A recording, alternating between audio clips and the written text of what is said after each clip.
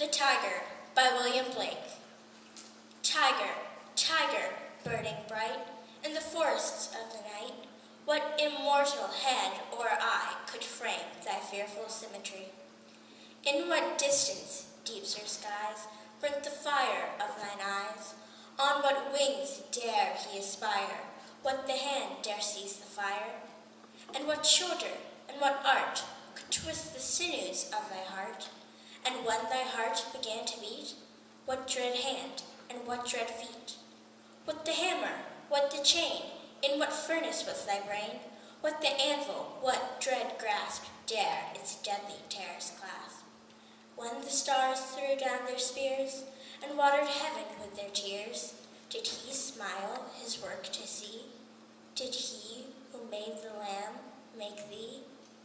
Tiger, tiger, burning bright in the forests of the night, what immortal head or eye dare frame thy fearful symmetry? Richard Cory by Edwin Arlington Robinson.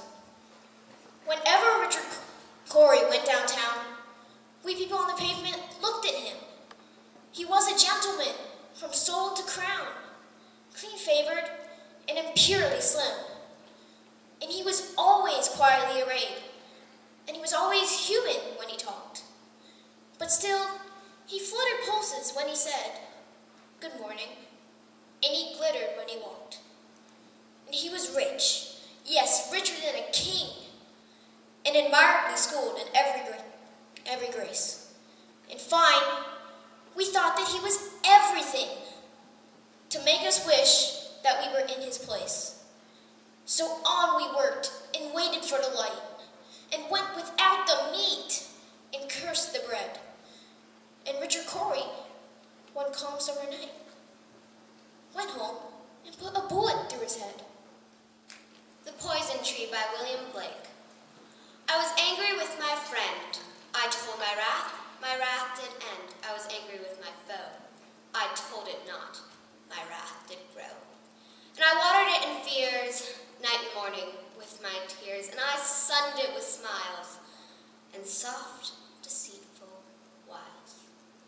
And it grew both day and night, till it bore an apple bright, and my foe beheld it shine, and he knew that it was mine.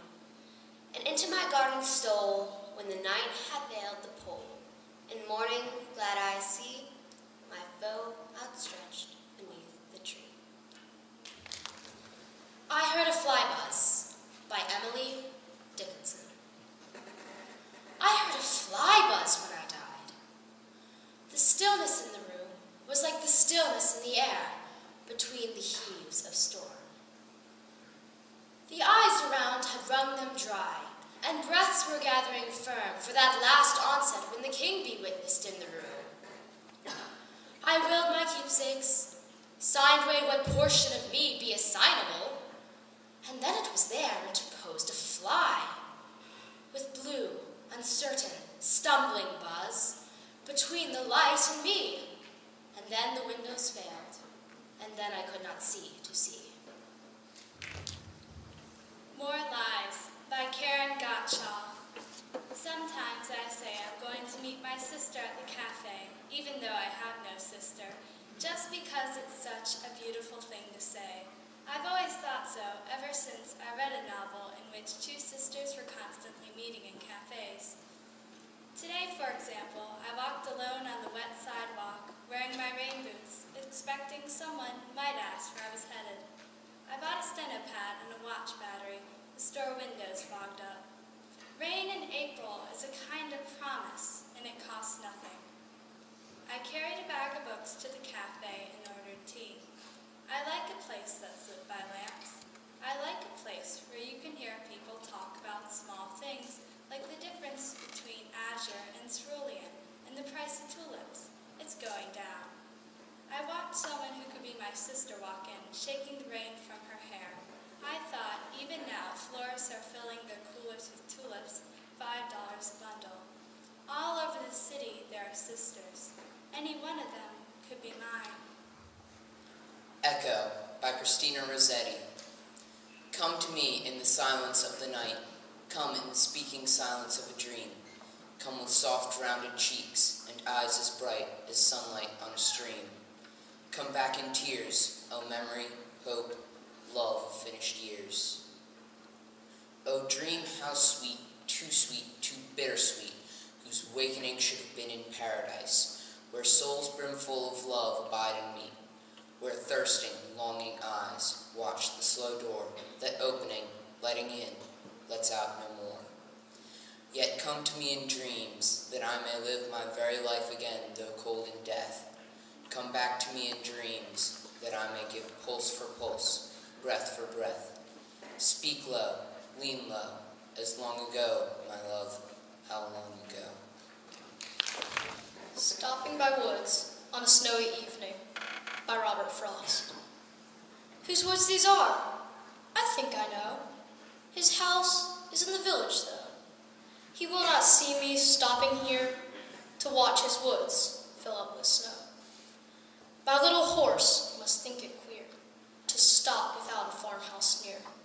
Between the woods and frozen lake, the darkest evening of the year. He gives harness bells a shake to ask if there is some mistake. The only other sounds, the sweet of easy wind and downy flake. The woods are lovely, dark and deep, but I have promises to keep, and miles to go before I sleep, and miles to go before I sleep. The Darker Sooner by Catherine Wing. Then came the darker sooner, came the later lower. We were no longer sweeter here, happily ever after, we were after, ever.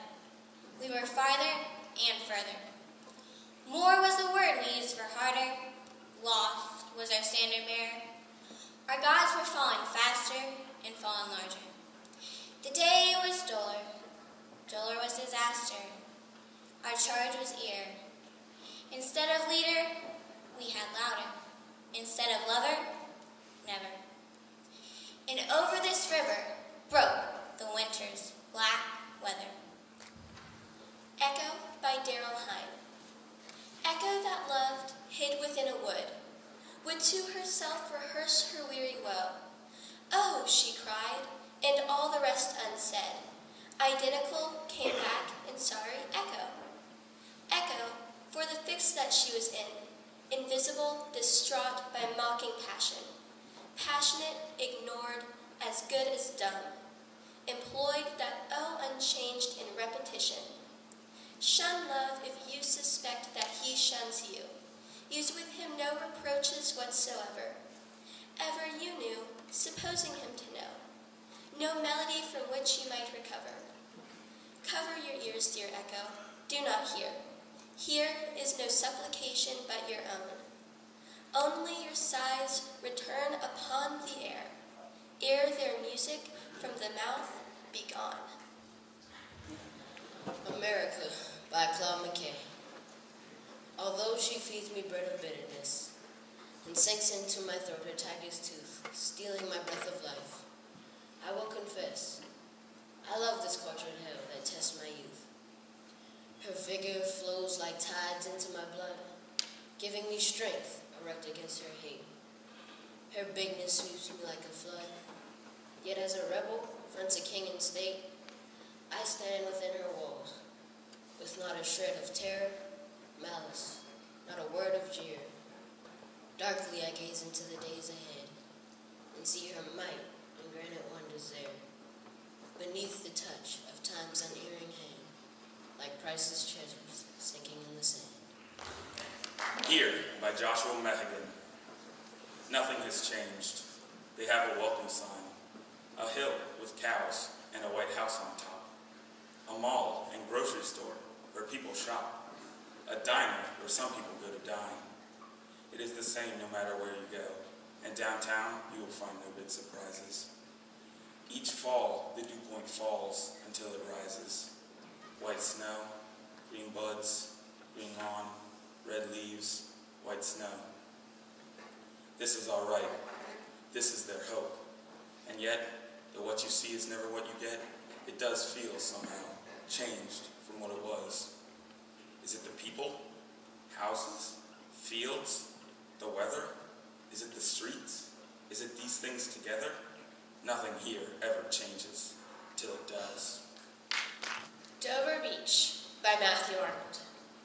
The sea is calm tonight. The tide is full. The moon lies fair upon the straits. On the French coast, the light gleams and is gone. The cliffs of England stand, glimmering and vast, out in the tranquil bay. Come to the window. Sweet is the night air. Only from a long line of spray where the sea meets the moon-blanched land. Listen. You hear the grating roar of pebbles, which the waves draw back and fling. At their return, up the high strand, begin and cease, and then again begin, with tremulous cadence slow, and bring the eternal note of sadness.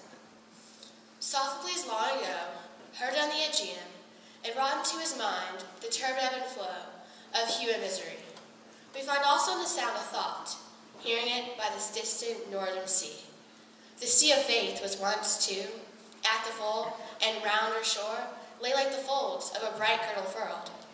But now I only hear its melancholy, long, withdrawing roar, retreating to the breath of the night wind, down the vast edges drear and naked shingles of the world.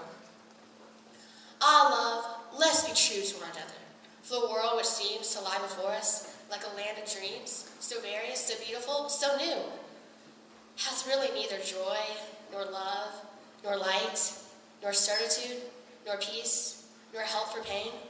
And we are here as on a darkling plain, swept with confused alarms of struggle and flight, wherein their armies clash by night.